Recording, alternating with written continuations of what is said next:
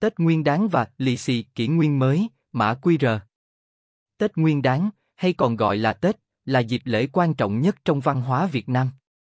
Và không thể không nhắc đến lì xì, một phong tục truyền thống của người Việt trong dịp Tết. Nhưng năm nay, lì xì đã có một diện mạo mới, mã QR. Lì xì kỷ nguyên mới.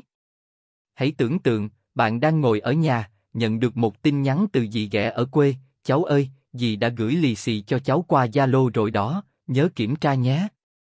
Bạn mở Zalo lên và thấy một mã QR. Bạn quét mã QR đó và tục, bạn nhận được lì xì từ dì ghẻ. Đúng vậy, đây không phải là một trò chơi hay một chuyện cười. Đây là hiện thực của việc lì xì trong kỷ nguyên số hóa. Không còn là những tờ tiền mệnh giá nhỏ gọn được gấp gọn trong phong bì đỏ rực rỡ, lì xì giờ đây đã trở thành những dãy số phức tạp được mã hóa trong mã QR. Với sự tiện lợi và nhanh chóng, việc lì xì qua mã QR đang trở thành một xu hướng mới trong cộng đồng người Việt. Dù có thể mất đi chút hương vị truyền thống, nhưng không thể phủ nhận rằng đây là một bước tiến vượt bậc trong việc ứng dụng công nghệ vào cuộc sống. Vậy nên, nếu như bạn nhận được một mã QR trong dịp Tết này, hãy nhớ đừng ngạc nhiên. Hãy mỉm cười và nói, cảm ơn gì cháu đã nhận được lì xì. Vì biết đâu, đó lại là một món quà may mắn mà dì ghẻ muốn gửi đến cho bạn. Tiện lợi và nhanh chóng. Với mã QR, việc gửi và nhận lì xì trở nên nhanh chóng và tiện lợi hơn bao giờ hết. Không cần phải đi đâu xa, không cần phải lo lắng về việc mất mát, hay thậm chí là việc phải đếm tiền. Tất cả những gì bạn cần là một chiếc điện thoại thông minh và kết nối Internet. Đúng vậy, chỉ cần một chiếc điện thoại thông minh và kết nối Internet, bạn đã có thể gửi lì xì cho người thân yêu của mình mà không cần phải lo lắng về việc mất mát hay phải đến tiền. Mã QR đã mang lại sự tiện lợi và nhanh chóng cho việc gửi lì xì trong dịp Tết Nguyên Đán, giúp cho mọi người có thể tận hưởng niềm vui của dịp lễ này mà không cần phải lo lắng về những khó khăn truyền thống. Đây chính là sự tiến bộ của công nghệ, giúp cho cuộc sống của chúng ta trở nên dễ dàng hơn. Chúc mừng năm mới! Pháo giấy Kết luận Lì xì qua mã QR không chỉ mang lại sự tiện lợi, mà còn thể hiện sự tiến bộ của công nghệ trong cuộc sống hàng ngày.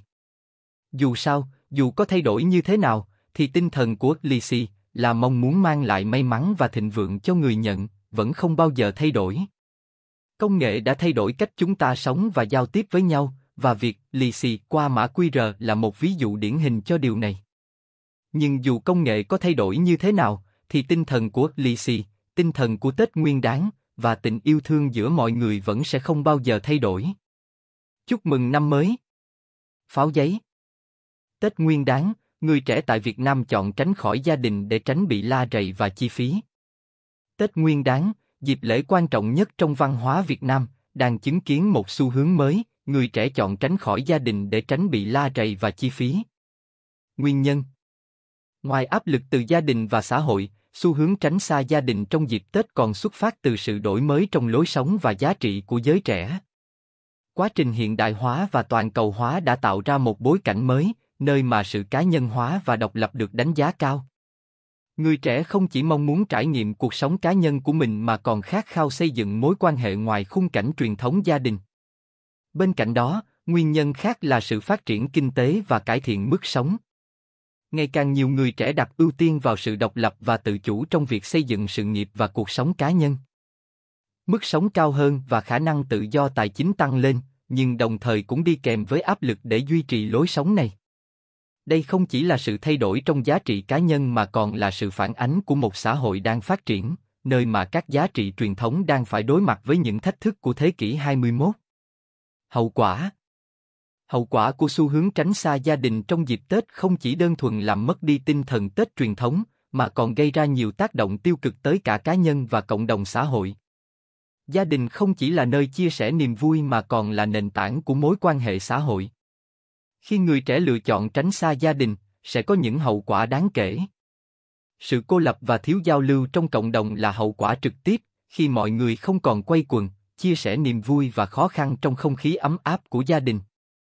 Điều này tạo nên một tình hình cô đơn và stress tăng cao trong cộng đồng, đặc biệt là trong những gia đình truyền thống nơi gia đình thường được coi là trung tâm, là nơi duy nhất có thể cung cấp sự ổn định tinh thần.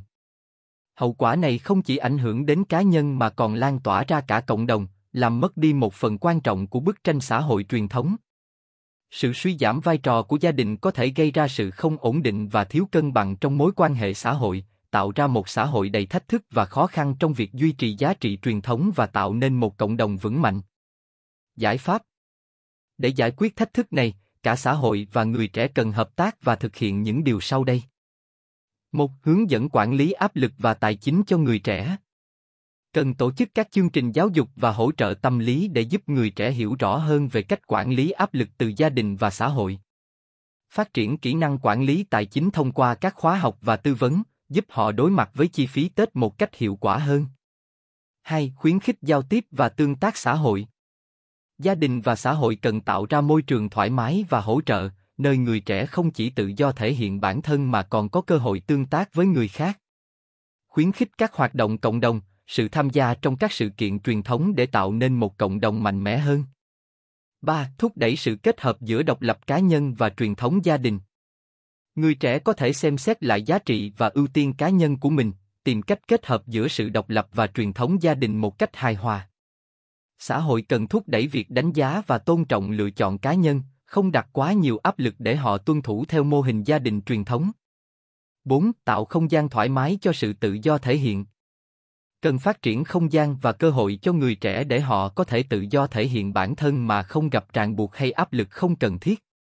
Bằng cách này, chúng ta có thể định hình một môi trường tích cực và hỗ trợ, kết hợp giữa giữa giá trị truyền thống và sự phát triển cá nhân, từ đó tạo ra một Tết Nguyên đáng ý nghĩa và lành mạnh cho cả gia đình và xã hội.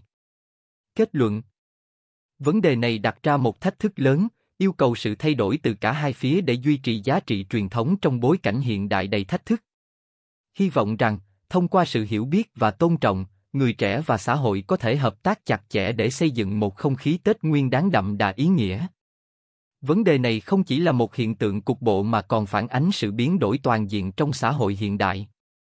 Nhiệm vụ là giữ vững giá trị truyền thống trong khi vẫn thích ứng với sự thay đổi, mở ra cơ hội xây dựng một cộng đồng mạnh mẽ hơn. Điều này đồng nghĩa với việc chúng ta có thể tận dụng sự thay đổi để tạo ra một môi trường xã hội đầy ý nghĩa, nơi mọi người cảm thấy kết nối và hỗ trợ lẫn nhau. Chúc mừng năm mới! Pháo giấy dù ở đâu, dù là ai, hy vọng mỗi người đều tìm thấy niềm vui và ý nghĩa của Tết trong trái tim mình, đồng thời xây dựng một năm mới tràn đầy hạnh phúc và thành công. Sao tỏa sáng